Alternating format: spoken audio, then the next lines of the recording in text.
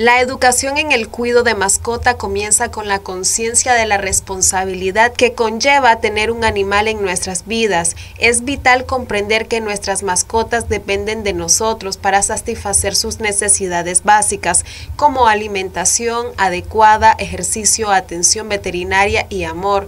Uno de los primeros cuidados y de los más importantes sería el desparasitar al cachorro. Eh, podemos desparasitar a los cachorros a partir de los 21 días de edad.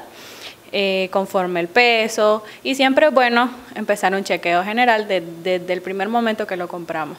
Antes de, desparasitarlo, lo que nosotros recomendamos es un examen coprológico o un examen de heces en el cual podemos ver eh, qué tipo de parásitos tiene la mascota y así dar un medicamento más específico y le puede ayudar de mejor manera.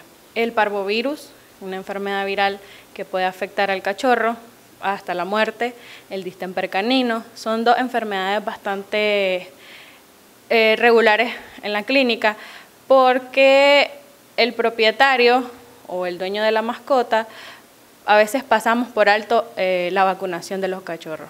O únicamente decimos, póngamele la parvovirus al perrito. Entonces, no solamente es la parvovirus, sino un esquema de vacunas que debemos tomar en cuenta para que el perro pueda crecer de manera sana, ¿verdad?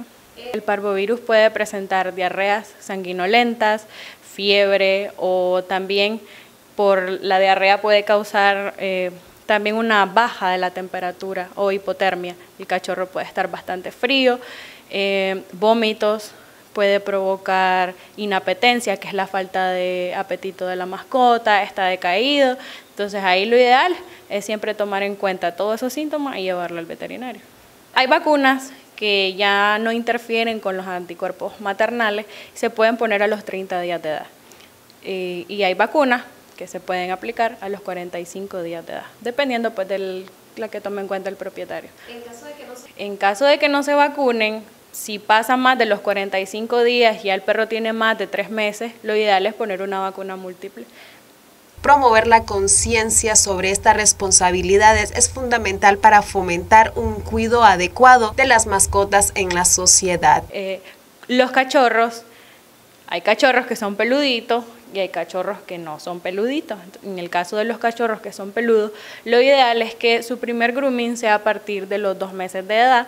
Así el perrito se va adaptando a la secadora, a los ruidos de las tijeras, eh, y se va adaptando sobre todo al cepillado, que es muy importante. El cepillado es muy importante porque al hacer esto, el perrito va a tener menos nudos, no le va a doler su piel cuando uno lo está cepillando, se va a acostumbrar, no te va a morder, ya va a estar acostumbrado a que una vez al día, dos veces al día en casa se está cepillando.